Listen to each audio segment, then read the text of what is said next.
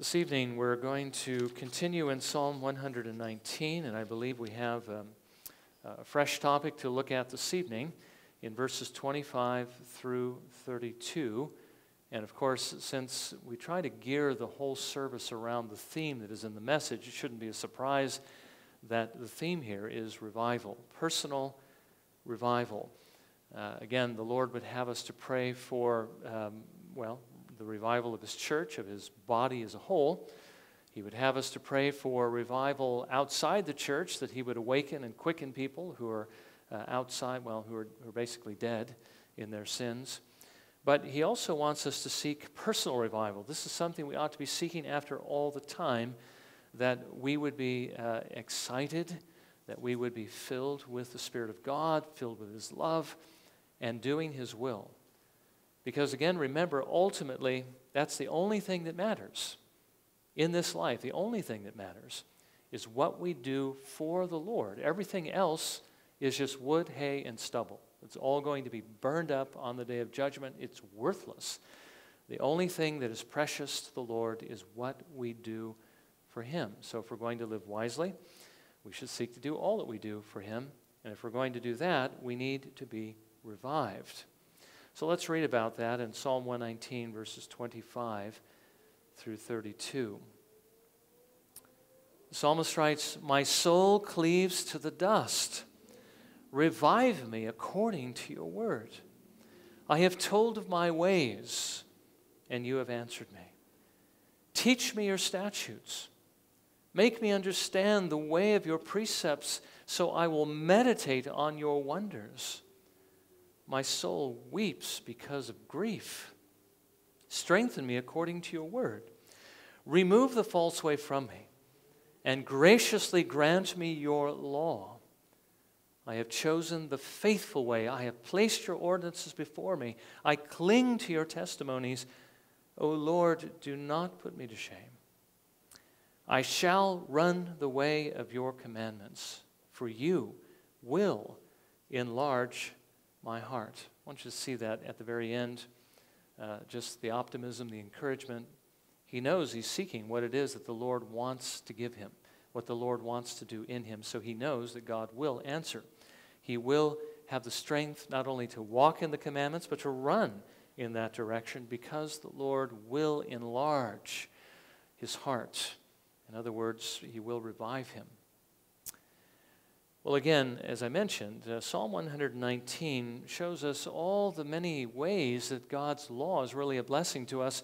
So while a majority of, of Christendom, sadly, is looking at the law in a negative light as something that we really should have nothing to do with, lest we be charged with legalism and uh, be cast away from the Lord as those trying to save themselves by their works, uh, we see it in another light we see it as really the Lord gives it to us, as the standard by which the Lord would have us to live, to show our thankfulness for his mercies, not to save ourselves. Uh, the psalmist actually is extolling the many virtues of the law of God in Psalm 119 as a way to get us to focus more on it, that we might learn more about it, and that we might, most importantly, live more according to it. Well, again, uh, we have seen thus far that God's law shows us the way of blessing. He started off the, the psalm uh, with, you might say, one of those personal incentives. How blessed are those whose way is blameless, who walk in the law of the Lord. The law of God does bring a blessing. He told us in the second section it does that mainly by showing us how to purify our hearts so that we might live a life that is more pleasing to the Lord, which ultimately, as I mentioned before, will bring us a greater reward because more of the things we'll be doing will be treasures we're storing up in heaven versus just worthless things that are going to be blown away on the day of judgment. Uh, but the psalmist also reminded us that as we live according to the will of God, when you obey it and others see you obeying it, that it is going to bring persecution. That's what he said in, well, I think it was the, um, the third section, right? But we need to remember that that too is a blessing. It's actually one of the blessings that the law of God brings, is that we would be persecuted. And we don't often think about persecution as a blessing. But Jesus says in Matthew chapter 5, verses 10 through 12, Blessed are those who have been persecuted for the sake of righteousness, for theirs is the kingdom of heaven. Blessed are you when people insult you and persecute you and falsely say all kinds of evil against you because of me. Rejoice and be glad, for your reward in heaven is great. For in the same way, they persecuted the prophets who were before you. So often we think of persecution as something that's rather negative, but our Lord tells us it's actually a blessing to be persecuted because when we are, God rewards us for it. I think I don't need to remind you that Paul gloried in the fact that he bore in his own bodies the brand marks of Jesus Christ, which means the scars that he got for preaching the gospel and having to face the hatred, the persecution, the insults, the ire of his audience.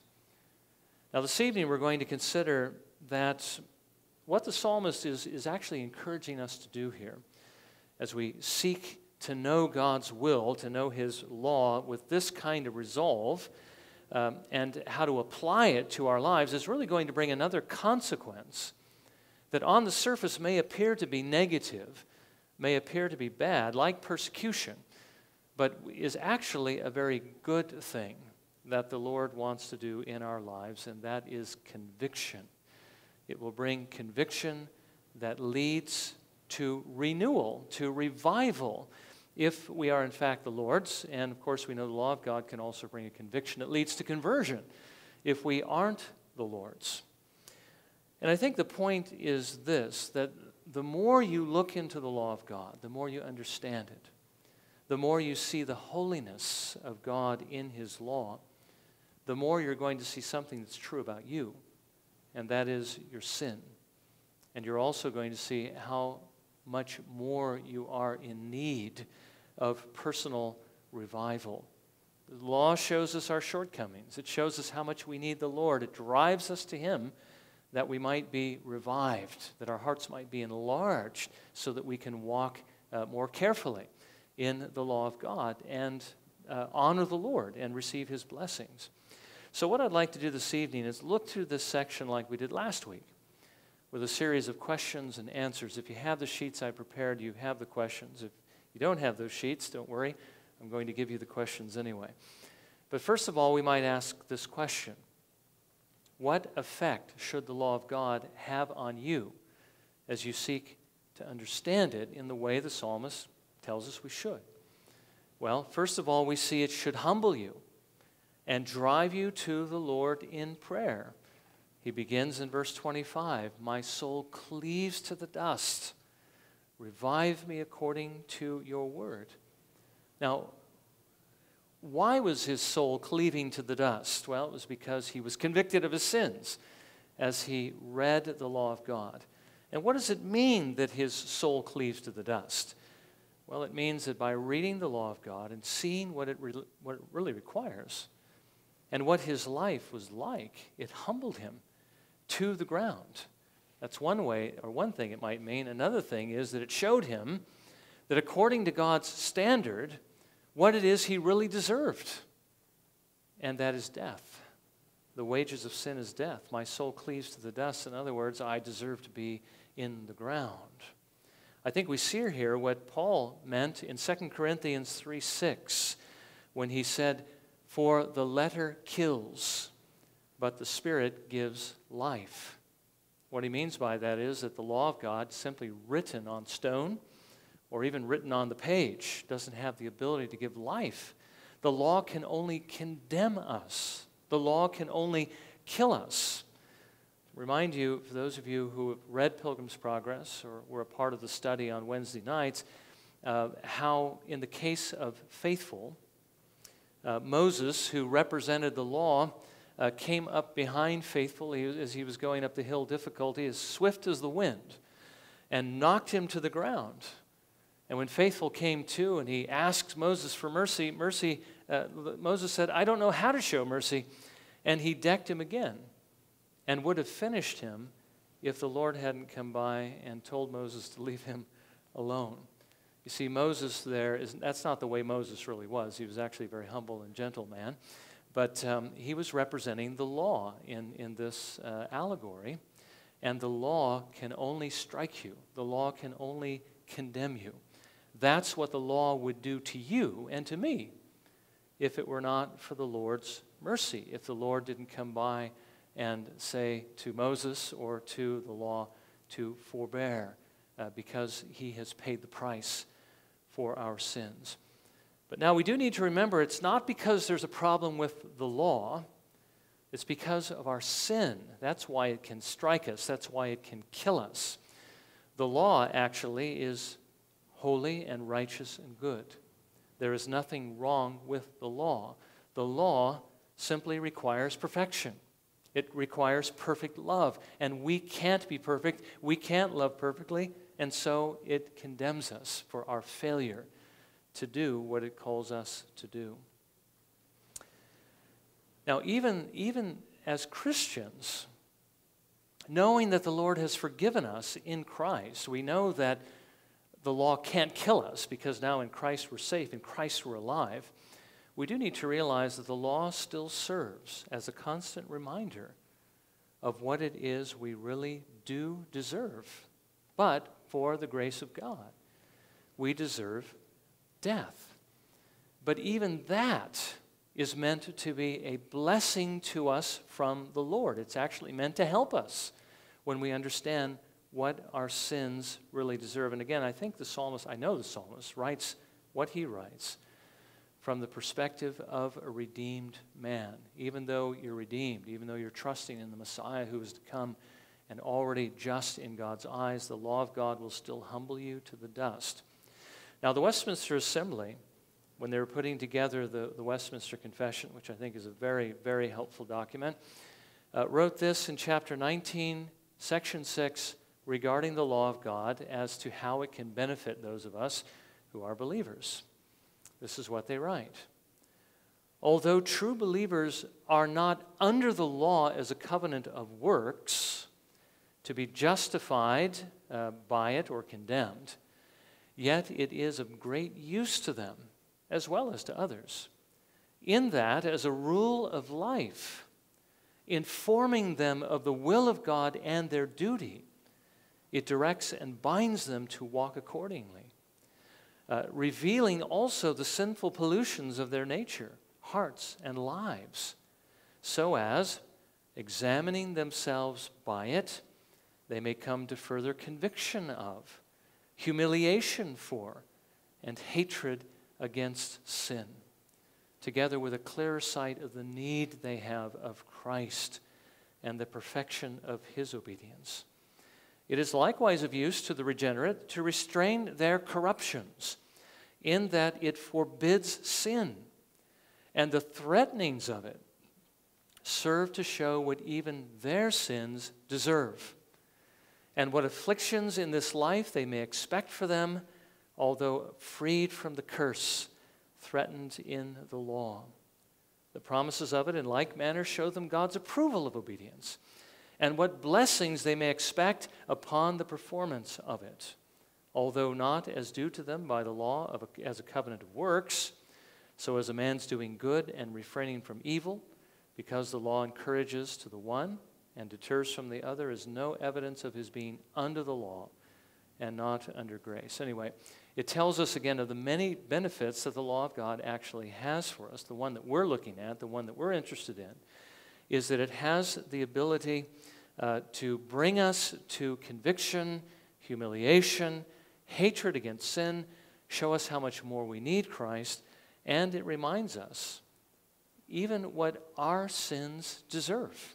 You realize that as Christians, when we sin, those sins still deserve death. But the Lord doesn't give us death because Christ has taken that curse on himself. We have been removed from that curse. And yet, our sins still deserve it. The psalmist says, My soul cleaves to the dust. He goes on to say later, My soul weeps because of grief. And the reason is because he has failed to keep the law of God as he should. So, the more clearly you see what God wants in his law, the more clearly you're going to see your sin. And the better you will understand what it is you really deserve, but by the grace of God. And that is a very humbling thing, but that is a good thing. Sometimes um, we, we react to these kinds of things in a negative way, in, in the opposite way. We, we think that this is a bad thing. If, if studying God's law makes me feel like this, makes me feel humiliated, makes me feel convicted, makes me feel like a sinner, makes me feel like I deserve to die, then I'll just stop studying it. So I'll feel better about myself. And that's how a lot of Christians respond to this, or at least professing Christians. But we should see that that's not the right response. We should be convicted so that we'll respond in the way that the psalmist responded. He said, Lord, my soul cleaves to the dust. So Revive me according to your word. In other words, Lord, forgive me and renew in my heart the desire to follow you with an even greater zeal. That's why the Lord wants us to study and meditate on His law in the first place, so that we might know our sins, so that we might be humbled, and that it might drive us to the Lord in prayer so that we might gain the power to keep it. That's what revival is all about. Again, the enlarging of our hearts, which means a heart that loves God and His law more, so that we will walk in it more. So, again, the first point is the effect of reading the law of God should be that it humbles us and drives us to the Lord. Well, secondly, what else should you do when the Lord reveals this sin to you, besides, of course, going to the Lord for the power to keep it. Well, the psalmist also talks about what we should do whenever the Lord reveals sin to us. And certainly we need to go to the Lord and we need to ask Him for revival. We need to ask Him for strength. But He also reminds us that we need to confess that sin to Him, confess that we are guilty. Uh, the pride of man will not allow him to confess that he has faults. As a matter of fact, that's probably one of our greatest weaknesses, isn't it? Even as redeemed believers, is fighting against our pride. We, we hate to think that we're weak in any way. We, think, we hate to think that we've failed. And yet, we must humble ourselves before the Lord and confess our sins if we are, in fact, forgiven by the Lord. And I believe that's what we have when the psalmist says in verse 26 I have told of my ways and you have answered me. I believe it's talking about the psalmist confessing his sinful ways to the Lord and the Lord answering him in mercy. Now, it is true from Scripture that when you trust in the Lord, when you believe on the Lord Jesus Christ, all of your sins are forgiven, all of them, past, present, and future. But it's also true, according to Scripture, that if you are forgiven, you will continually confess your sins as you become aware of them. And as you do that, the Lord will continually cleanse you of them. 1 John verse uh, chapter 1 he writes this, if we confess our sins, and the idea here behind the original language is the idea of a continual confessing if we are continually confessing our sins, He is faithful and just, continually to forgive us of our sins, and continually to cleanse us from all unrighteousness. In other words, the mark of being a true believer, according to John, is that when we become aware of sin, we humble ourselves and confess it to the Lord and ask for His forgiveness. And as we are doing this, He is continually cleansing us. Now, that raises a question does that mean if I become aware of sin and before I can confess it, I die? Or maybe I haven't become aware of it and I never confess it and I die. Does that mean that I'm not going to go to heaven because I'm not forgiven or cleansed? Well, thankfully, the answer to that is uh, no, you will go to heaven because that sin is forgiven, whether you confess it or not. Don't use that as an excuse not to confess it because the Lord tells us we need to confess it. But we need to remember that forgiveness, as we saw this morning in the book of Hebrews, is an all or nothing thing. It's a one time event if it's all for the believer. That forgives all of our sins, past, present, and future. The author to the Hebrews said in chapter 10, verse 14, For by one offering he has perfected for all time those who are sanctified. In other words, if you've trusted Christ, your sins are all forgiven on the basis of that one sacrifice. Your confession of sin is not what pardons you. Jesus' death on the cross is what pardons you. Your confession is simply the evidence that God has forgiven you. It's also his command, so don't forget to confess your sins. But again, knowing that he has blotted out all of your sins through the Lord Jesus Christ, your response should be one of prayer from the heart out of thankfulness that the Lord would even show you more of His Word. It's kind of like a virtuous circle, isn't it? You read the law of God, you see your sin, you confess your sin, you know the Lord has forgiven you, and so out of thankfulness, you read more and seek more, and you pray more that God would show you what He wants you to do. The psalmist prayed that God would teach him his statutes more clearly, that he would help him to understand them and meditate on them. Verses 26 and 27 Teach me your statutes, make me understand the way of your precepts, so that I will meditate on your wonders. And again, the purpose is that he might be even more convicted and more humbled before the Lord, that he might confess his sins more, more wholeheartedly and walk in his ways more closely. See, the point is this that being convicted, being humbled, confessing your sins, or the fact that you need to do that, shouldn't drive you away from the Lord, but it should drive you to the Lord, that He might strengthen you more. You see, that's what it means to be revived. And that's how the Word of God, how the law of God in particular, can bring you to personal revival. Because as you study it and see how you fall short and how much you need of Christ, it drives you to Him that you might gain greater strength to live according to His Word. So, again, the, the law of God humbles us and it causes us to seek for revival. The law of God is um, something that points out our sins that we should be willing to confess to the Lord and again pray that God would teach us more. But thirdly, the psalmist reminds us that it's not enough simply to be humbled, and even to be humbled to the point of confession. That there is something more that needs to be there, something else the Lord wants from you, something else He intends the law of God actually to produce in you, and that is, of course, repentance and obedience. In verse 28, he says, My soul weeps because of grief, which means I'm not keeping your law.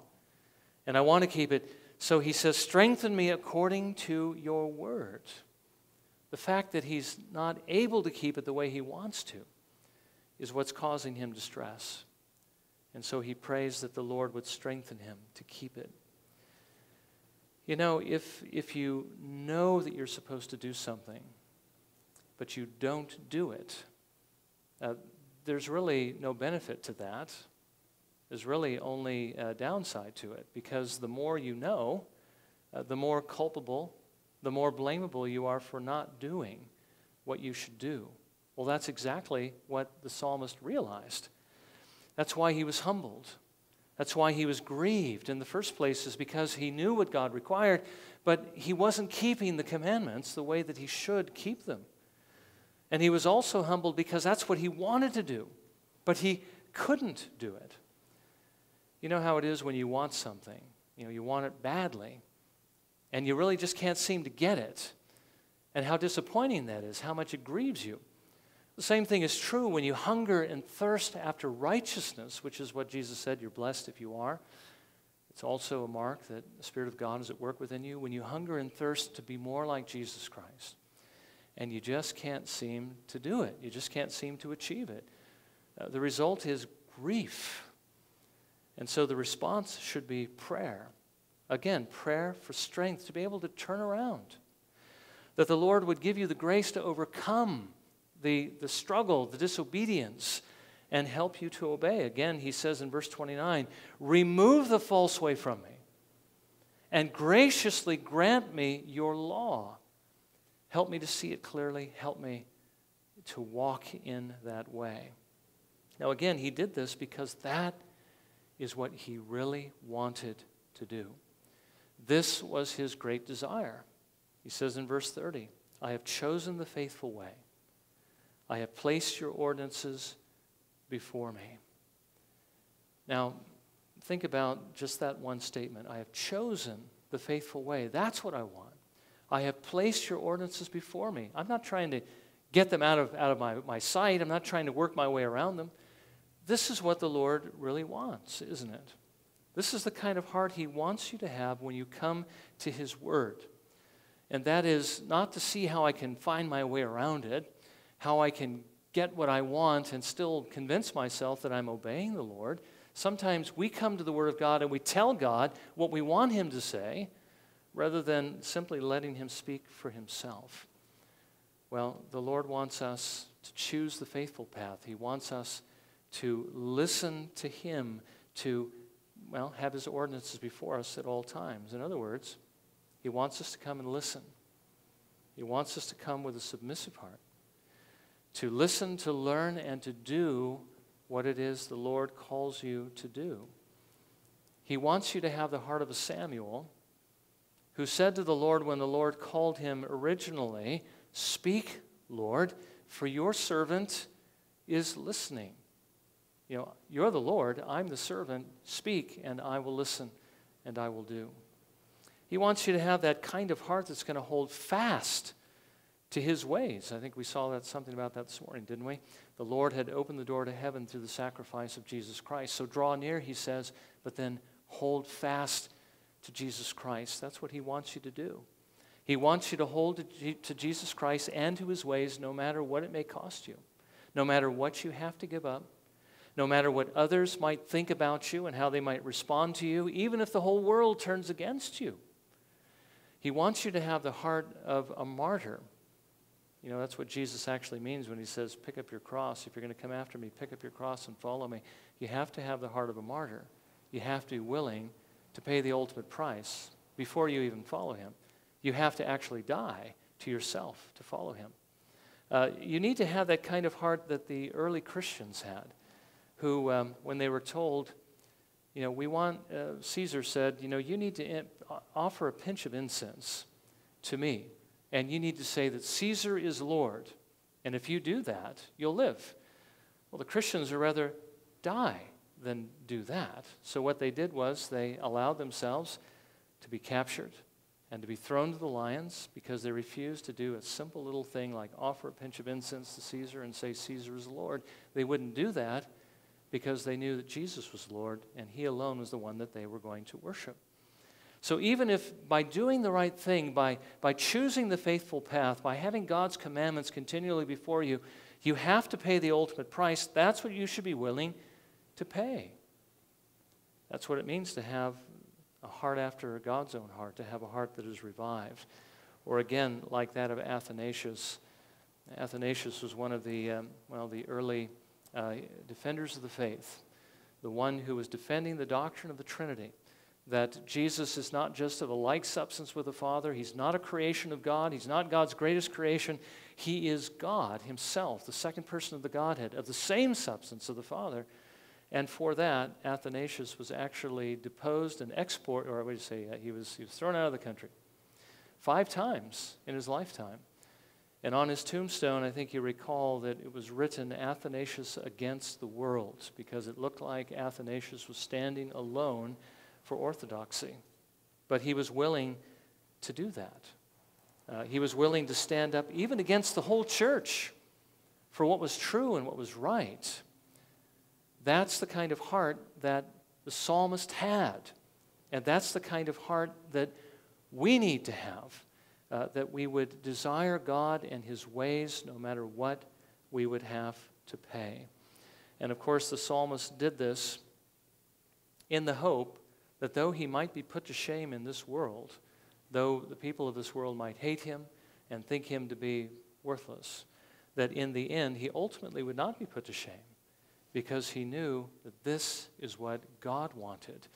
The Lord would honor him for this.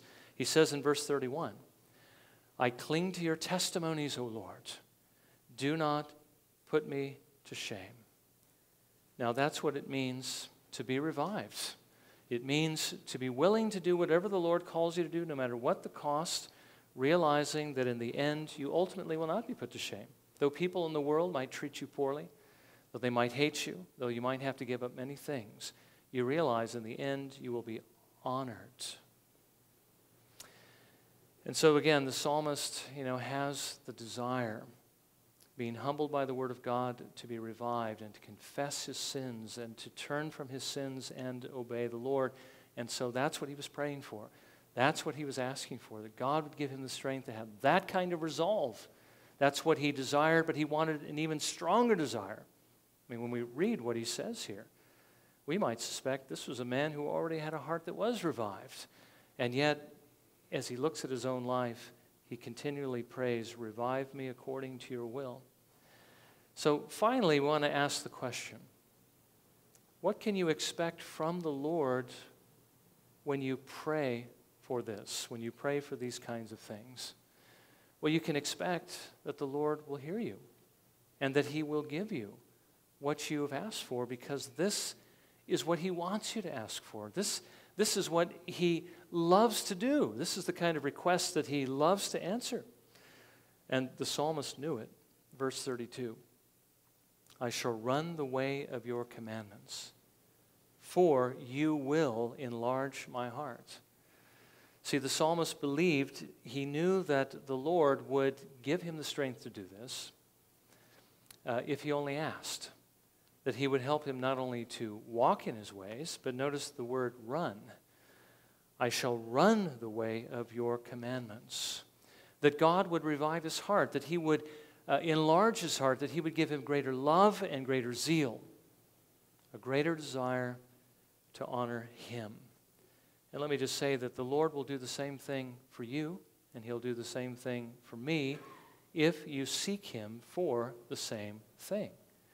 If you're willing to read the law of God and let it convict you, let it humble you.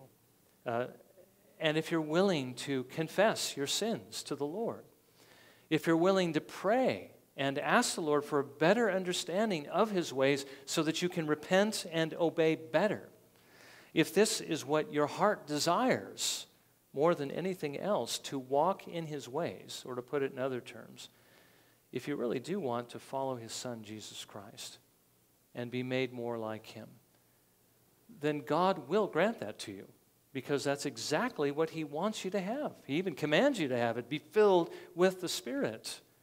Not with yourself, not with your flesh, not with your lusts or desires after other things. God doesn't want you to be filled with those things. He wants you to be filled with His Spirit. So if you have this desire, this is a prayer that He will answer. He will enlarge your heart. He will give you a greater love, a greater zeal for His glory, not just to walk in His ways, but to run in His ways. Now, again, I hope that sounds like something you want, because that's what we should want from the Word of God, and that's what Jesus wanted, and that's what He pursued, although His heart was already perfect.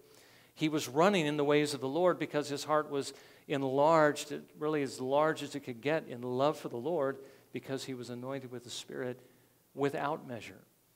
There was no limit to, to the, the influence of the Spirit in his own heart.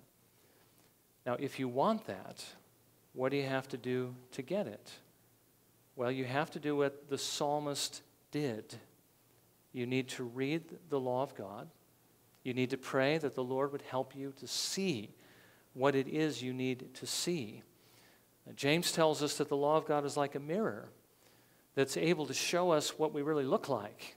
You know, let's just say you live in a world without mirrors and you had no idea what you look like because there wouldn't be any way unless you could see your reflection. Well, we really don't know what we look like, you see, as far as God's holiness until we look at the law of God. It's a mirror that shows us all of our warts and all of our blemishes. So you need to look into the law of God and let it search and examine your heart. Look into that mirror.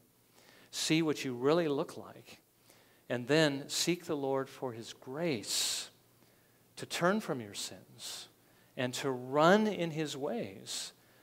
That's what personal revival is all about. And that's what the Lord wants each of us to do. So let's, uh, let's pray that God would help us to do that, especially as we look toward the table, that He would give us the desire to be more like His Son, to walk in His ways and to give glory to Him. Let, let's bow in a moment of prayer and, and let's pray that God would help us resolve to do that.